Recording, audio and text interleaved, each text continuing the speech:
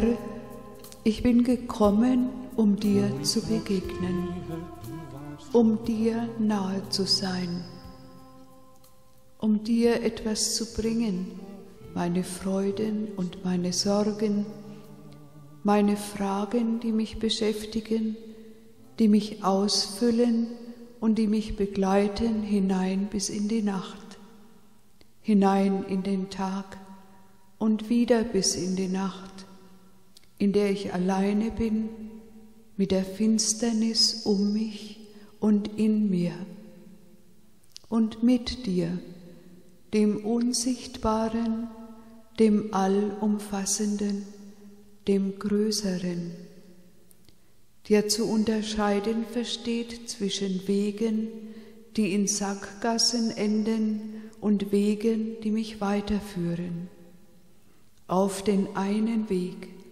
der allein zu dir führt, zu dir, der du mein Vater bist, zu dir, der du meine Sehnsucht bist, zu dir, der du die Liebe bist.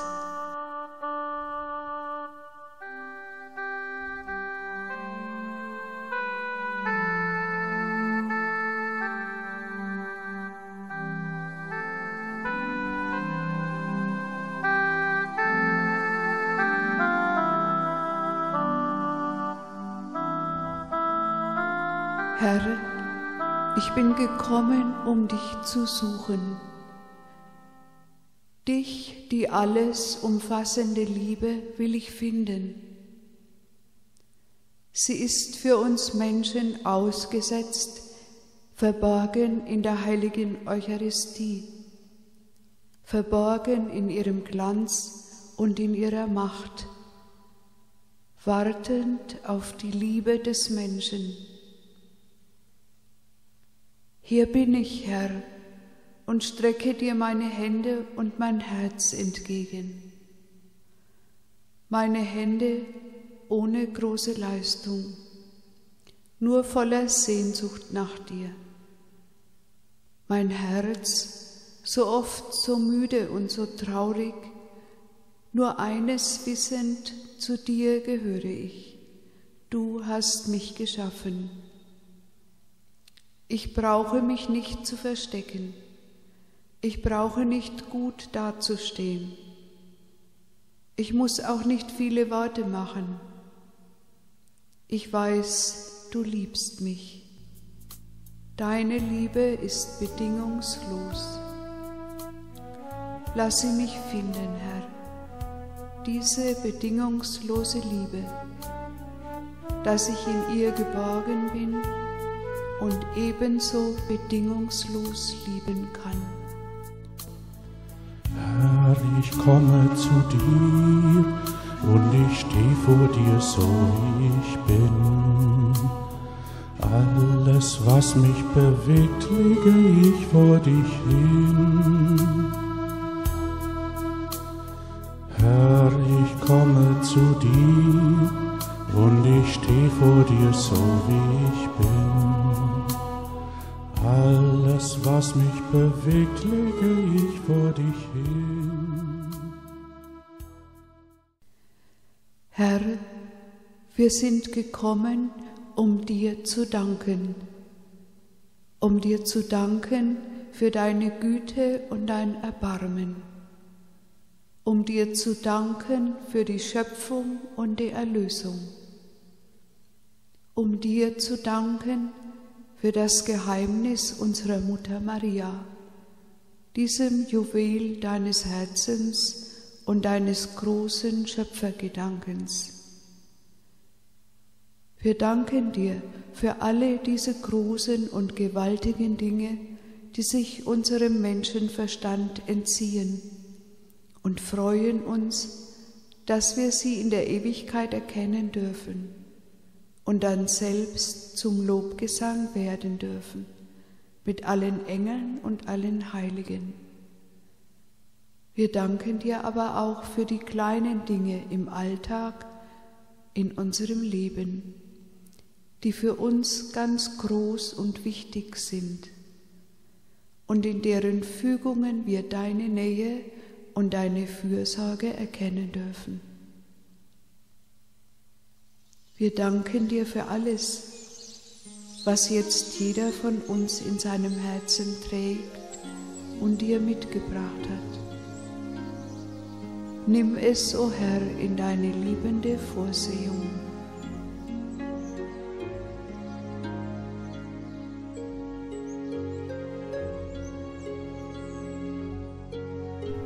Hab Dank von Herzen, Herr, hab Dank, du Heiliger, hab Dank, denn du gabst Jesus Christus, deinen Sohn. In ihm spricht der Schwache, ich bin stark, und der Arme, ich bin reich.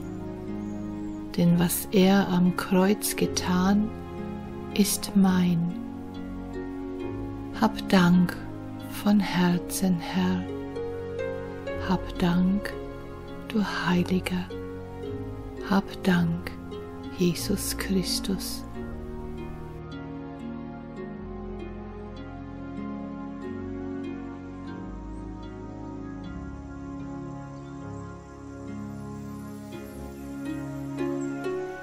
Herr, wir sind gekommen, um dir zu dienen, und wir bringen dir auf unseren betenden Händen die Welt und ihre Menschen.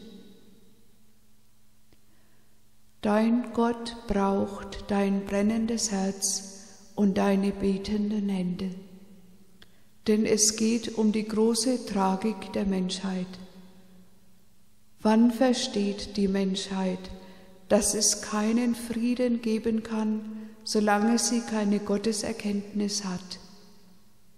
Der Welt fehlt es an Gotteserkenntnis. Die Welt sucht sie auch nicht, sondern sie hat sich eine eigene Gesetzesgemeinschaft geschaffen und die Gesetze wachsen ihr über den Kopf, so dass sie sich selbst darin verirrt. Unter der Flagge der Freiheit wachsen die Verbrechen und die Seelen der Kinder werden immer früher in eine unerhörte Fülle von Schmutz und Grausamkeit getaucht. So kommen wir, Herr, zu dir mit unseren betenden Händen und unseren bittenden Herzen. Und wir flehen, Herr, tauche ein in das Meer deiner Barmherzigkeit, die Welt und ihre Menschen.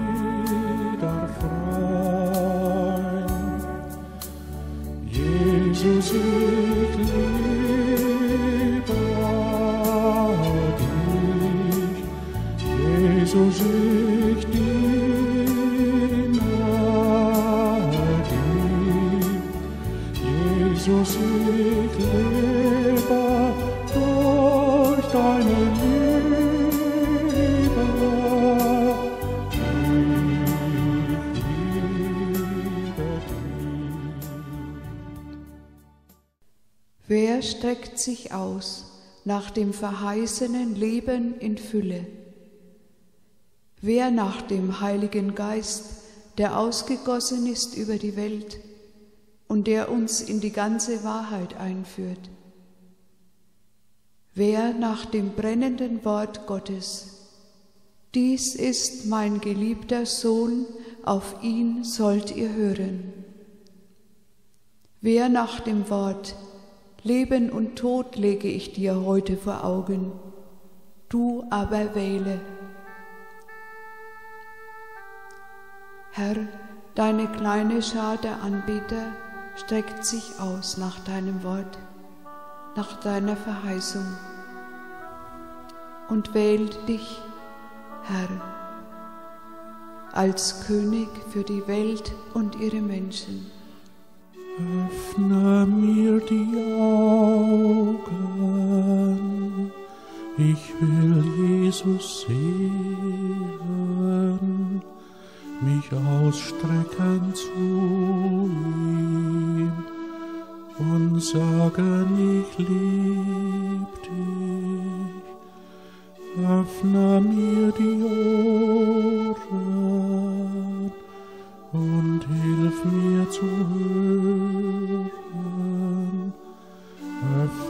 Das Herz mir, ich will dir gehören.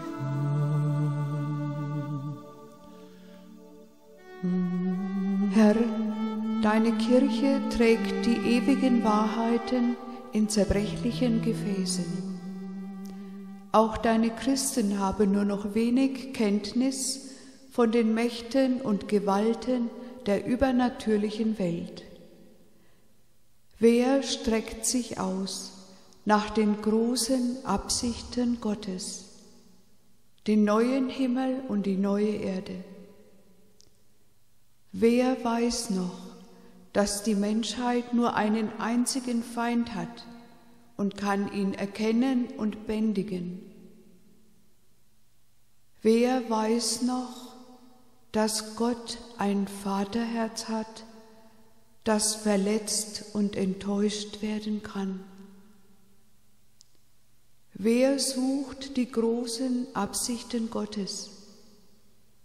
Wo sind die Menschen, die aus der schreienden Not der Welt bis zu Gottes Herz emporsteigen und ihm keine Grenzen setzen in seinem Heilswillen und ihm sein Wort abbringen? Siehe, ich mache alles neu. Herr, wir wollen dein verletztes Vaterherz trösten und um Verzeihung bitten für die Welt und ihre Menschen. Wir wollen dir das schmerzhafte und unbefleckte Herz Mariens darbringen und das durchbohrte Herz deines geliebten Sohnes zur Sühne für die Welt und ihre Menschen. Herr, wir suchen die großen Absichten deines Vaterherzens für die Welt und ihre Menschen. Siehe, das ist Gottes Lamm, das der Erde Sünde trug,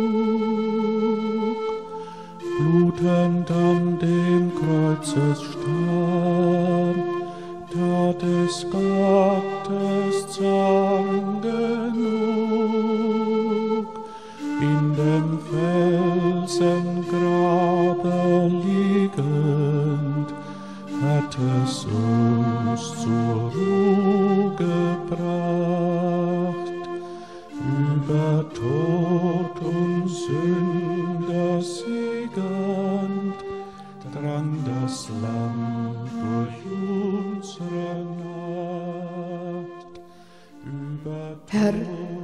wir sind gekommen, um deinen Willen zu suchen, und du schenkst uns deine Weisung.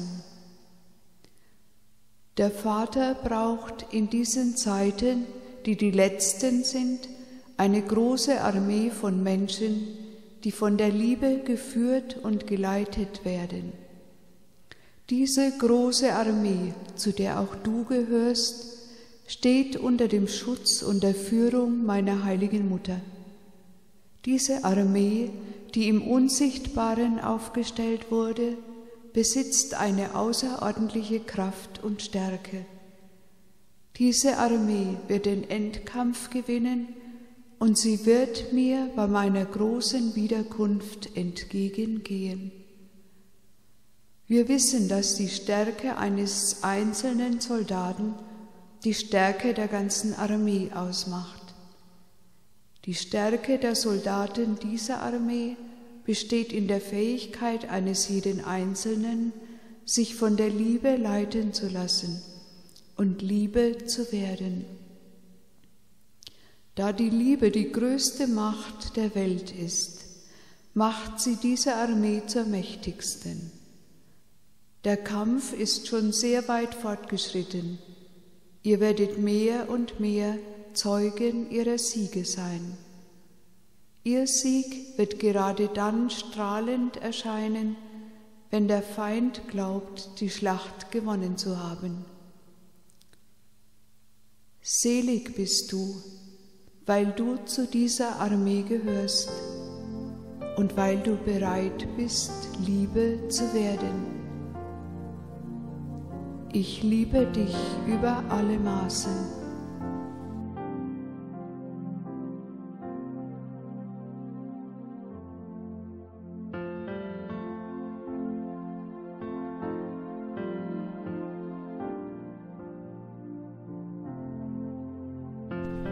Du, der Herr von Meer und All, du siehst deines Volkes Qual alle, die das sind in Sünd und Nacht, willst du befreien.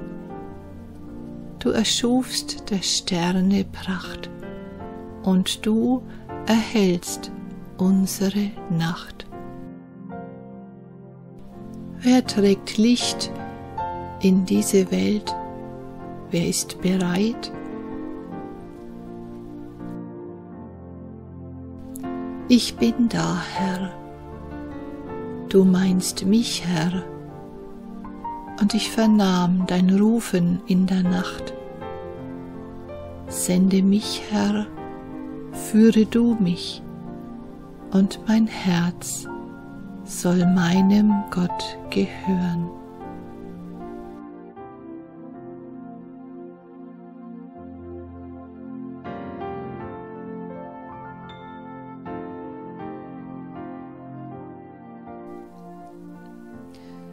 Es steht geschrieben, die Menschen werden vor Angst vergehen in der Erwartung der Dinge, die über die Erde kommen, denn die Kräfte des Himmels werden erschüttert werden. Und wenn das alles beginnt, dann erhebt euer Haupt, denn eure Erlösung ist nahe. In eurer Zeit befindet sich euer Planet auf einem Pulverfass, das jeden Augenblick explodieren kann. Dieses Pulverfass ist zunächst der Geist einer Welt, die von einer unerhörten Gewalt verblendet ist. Und es erträgt auch die ganze Natur, die von all den chemischen, zerstörerischen Angriffen geschädigt ist, das Chaos der Menschheit nicht mehr. All diese Dinge geben euch eine Vorahnung der Apokalypse. Sie offenbaren euch viele Dinge, wozu der Mensch fähig ist. Die Fortschritte der Technik verdankt ihr den Forschern und Wissenschaftlern, die nur jene Bereiche detailliert erkennen, die außerhalb des Menschen liegen. Sie haben die Seele des Menschen vergessen und haben vergessen, die Folgen zu untersuchen, die ihr Eingreifen auf die Erde hat. Ihr stellt in den Zeitungen und im Radio und Fernsehen fest, dass fast überall Chaos herrscht. Viele unschuldige Geschöpfe leben die Hölle auf Erden. Viele sind krank, viele hungern, viele sind hilflos. Wollt ihr ohne die geringste Reaktion auf Menschen vertrauen, die euch auf den Weg der Zerstörung führen? Die Menschen guten Willens müssen reagieren. Sie müssen den Planeten mit einem geistigen Schutz überziehen. Es müssen die Völker zum inbrünstigen Gebet aufgerufen werden, wie es der Heilige Vater wünscht. Das ist ein Aufruf für die ganze Menschheit, für Politiker und für alle Kirchen, vor allem für die Gebetsgruppen. Vater im Himmel, Herr aller Mächte und Gewalten, wir wollen unseren Planeten Erde alle Gestirne und die ganze Schöpfung nicht mehr jenen Menschen überlassen, die nicht nach deinem Willen fragen, die dir nicht die Ehre geben und die dich nicht anbeten. Vater, siehe auf den durchbohrten Händen deines Sohnes und dem durchbohrten Herzen der Mutter, bringen wir dir die ganze Schöpfung zurück und das gespaltene Herz des Menschen. Vater, sprich neu dein Schöpferwort. Ich will, es werde, siehe, ich mache alles neu.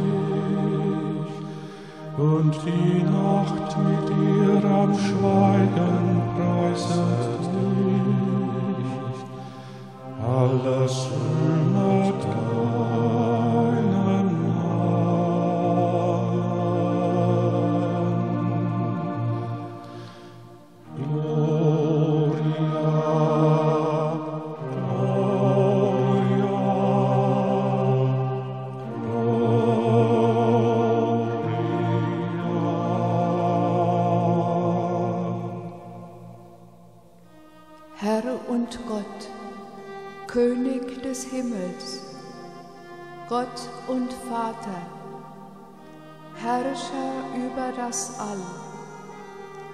Herr, eingeborener Sohn, Jesus Christus, du nimmst hinweg die Sünde der Welt. Erbarme dich unser, denn du allein bist der Heilige, du allein der Herr du allein der Höchste, Jesus Christus, mit dem Heiligen Geist, zur Ehre Gottes des Vaters. Amen.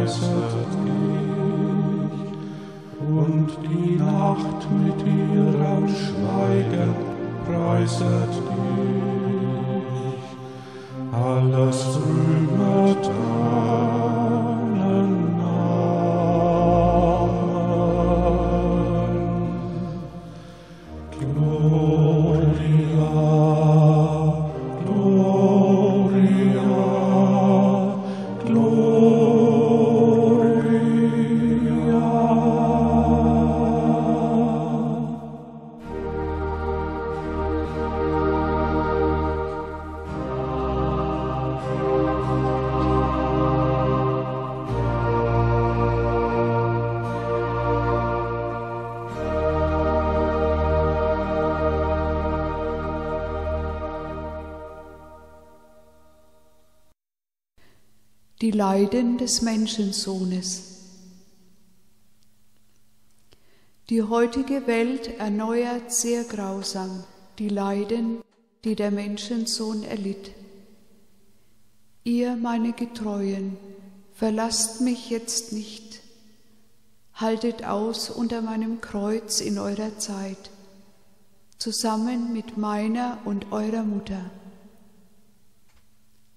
Haltet aus unter dem Kreuz meiner Kirche, die nur eine ist und nur eine sein kann unter dem Siegel der Unüberwindbarkeit, das ich meinem Petrus, meinem Papst gegeben habe, und meine Zusage allein ist die Garantie für den Felsen. Es gibt so wenige Menschen, die mir in meinem Wort gehorsam sind, so wenige, die ihren Gott suchen und ehren. Die meisten wollen mich nach ihren eigenen Vorstellungen und nach menschlichem Maß zurechtbiegen. Darum ist die Welt in so großer Finsternis. Ihr, meine Getreuen, tröstet, tröstet euren Gott.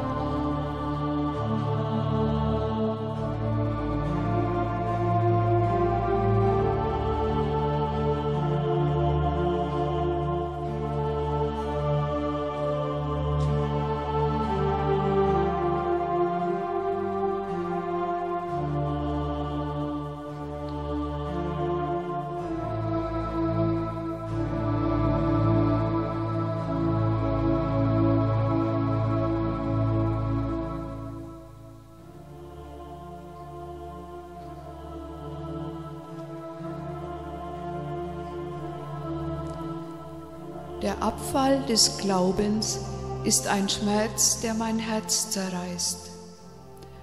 Du siehst den Zustand der Bedrängnis meiner Kirche, meines mystischen Leibes. Er verschlimmert sich immer mehr. Zertreten und verachtet von den Menschen, verzerrt von der Willkür menschlicher Anmaßung, von den meinen so oft verraten und verkauft, an die Meinung und das Maß dieser Welt. Du siehst, die Menschen sind taub gegenüber den Aufrufen des Himmels, gegenüber meinen Mahnungen, gegenüber den flehentlichen Rufen meiner und eurer Mutter. Weder ihre Erscheinungen auf eurer Erde noch ihre Tränen, die sie über eure Zeit weint, rühren die Herzen aus Stein. Ich flehe euch an, die ihr in meiner Kirche Verantwortung tragt. Habt die Kraft und den Mut, die Zeichen des Himmels zu erkennen. Hört auf, Angst vor der Verfolgung durch eure Brüder zu haben. Denn unbegreiflich ist der Hochmut, mit dem man das Wirken Gottes und seiner Mutter der menschlichen Beurteilung unterstellt. Unbegreiflich ist der Mensch, sei er Laie oder Gottgeweihter, der sich das Recht anmaßt, dem Willen Gottes Grenzen zu setzen. Unbegreiflich ist der Mensch, der sich selbst ein Geheimnis ist und sich dennoch für fähig hält, die unerforschlichen Geheimnisse Gottes zu ergründen. Du siehst, in welcher Verlassenheit ich mich befinde. Und doch bleibt die Liebe bei euch und will immer noch retten, sogar immer mehr. Euch, meiner kleinen Schar der Anbeter, sage ich meine Schmerzen. Schenkt mir Seelen, schenkt mir Liebe, schenkt mir eure Treue, schenkt mir eure Tränen, und eure Ehrfurcht. Schenkt mir eure Fürbitte für die Welt. O vergesst doch euren kleinlichen Egoismus, der euch trennt und entzweit, um des großen Schmerzes eures Gottes willen.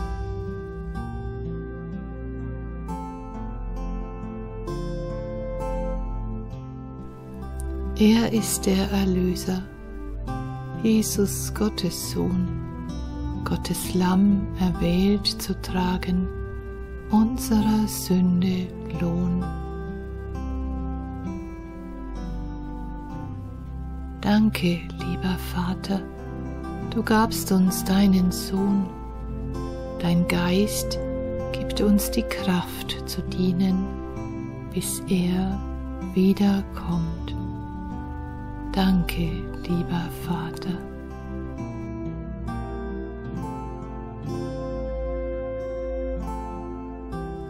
Gott, du schenkst uns deine Verheißung. Ja, meine Herrlichkeit wird den Himmel aufreißen und wird die Erde umhüllen wie eine milde Wolke. Dann wird der Heilige Geist kommen der Heilige Geist wird Besitz ergreifen von der Schöpfung und vom Geschöpf. Und du wirst sehen, den Menschen niedergestreckt durch Gottes Macht und Herrlichkeit, den Menschen aufgehoben von der Güte Gottes und von zärtlichen Vaterhänden hineingehoben in Gottes Herrlichkeit. Den Menschen, sich selbst in Freiheit, Liebe und Anbetung niederwerfend vor Gottes Herrlichkeit. Und du wirst staunen über das Werk deines Gottes. Die Menschen versinken in Vergessen und Gleichgültigkeit, aber immer bin ich, Jesus, der Retter der Menschheit. Die Welt vergisst mich, aber euer Heiland vergisst die Menschen nicht. Darum ist es wichtig, dass an dem Tag, an dem Gottes Herrlichkeit das Herz des Menschen heimsuchen wird, ihr mit Petrus sprechen könnt. Meister, es ist gut, dass wir hier sind, nämlich bei Jesus vor dem Tabernakel und unter dem Schutzmantel der Madonna. Friede wie ein Strom, Liebe groß wie Berge, der Wind deines Geistes weht überall. Freude übersprudelnd, heilender Lebensquell. Komm, heiliger Geist, mit Feuerfall. Komm, heiliger Geist, mit Feuerfall. Die Liebe wird als Liebe zurückkehren. Hab keine Angst. Die Nacht geht vorüber und je dunkler sie war, umso strahlender wird der neue Morgen. Ich bin das Licht der Welt. Ich komme und erleuchte die verdunkelten Herzen. Ich werde eine neue, heilige Erde schaffen und die Menschen werden wieder fähig sein zu lieben. Du aber bleibe im Gehorsam und in der Treue.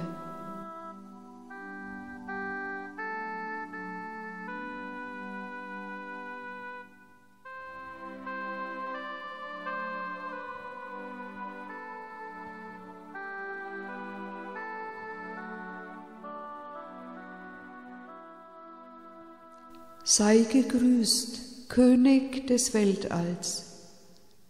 Sei gepriesen, König der Könige, Herr der Heerscharen.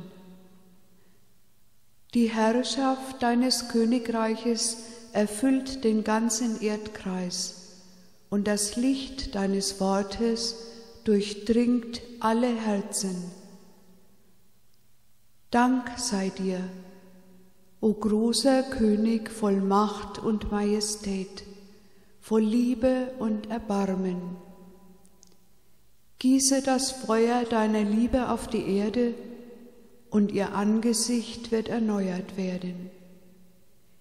Gieße deinen Geist in die Wüste der Menschenherzen, und die Menschheit kann ihren Schöpfer und Vater wieder erkennen und lieben. Sei willkommen, König des Weltalls. Gepriesen sei Gott, gepriesen